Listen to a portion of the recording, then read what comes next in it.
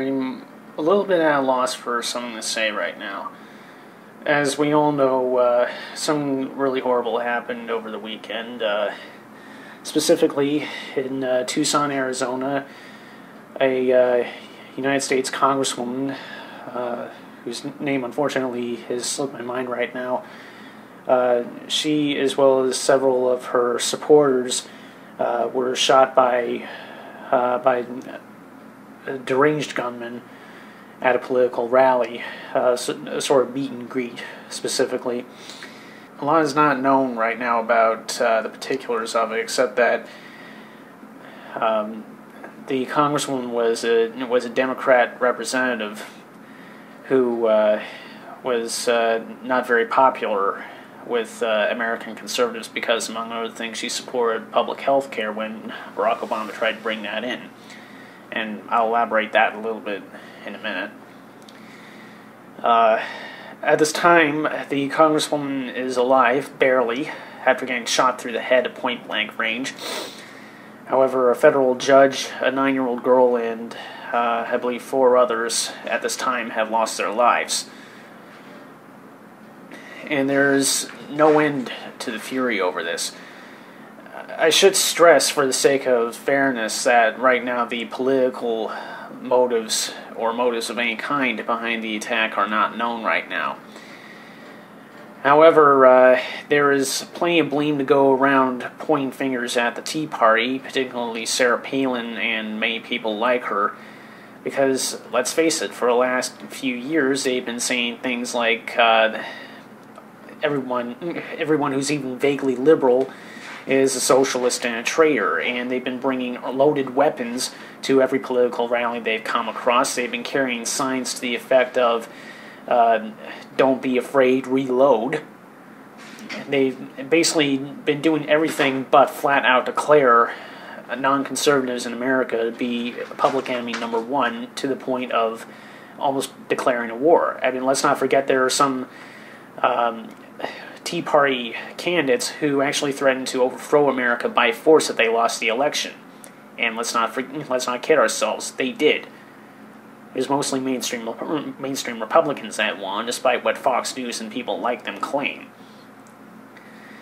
Uh, where it gets particularly chilling is that during that same election, Sarah Palin uh, took it upon herself to put out a hit list of uh, United States Congresspeople and senators who vote for public health care using a graphic uh, that, well, looks like the gun sight of a sniper.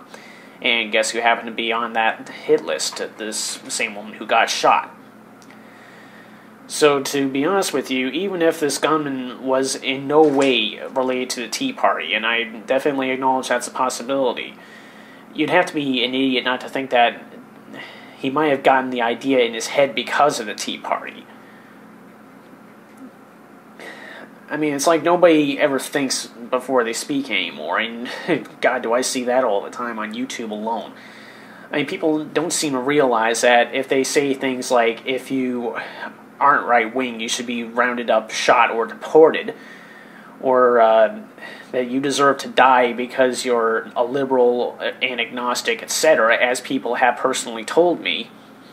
It never seems to occur to people that even though they might be saying it just as a figure of speech, somebody else could be watching this and taking it literally. And now we're seeing the results of that. To be fair, there is plenty of this on both sides, and I acknowledge I probably contributed to it a couple of times. But to my recollection, I've never actually said anything to the effect of the far right wing should be rounded up and executed. I certainly never said anything about them being murdered in cold blood in public with complete disregard for who might be around. I've certainly never advocated killing children just for being in the wrong place at the wrong time. But, I mean, it just astonishes me how clueless some people are that this bile and rhetoric is doing so much harm in North America alone. I mean, as I said, if even if this guy had nothing to do with the Tea Party, and was not conservative or even politically active in the conventional sense of the word, you got to take responsibility for what we say now. I mean, at the very least, this sort of bullshit about uh, taking back America for the so-called true patriot conservative or anybody else for that matter, it's wearing thin. It, at the very least, it's childish as hell. I mean, I work with grade schoolers who are more mature than some of these guys. That should tell you a hell of a lot. I mean, we gotta clean this up before more kids die, before more people die just for just for voting and believing in and being nice to other human beings. Why is that a crime? Enough is enough. When's this going to end?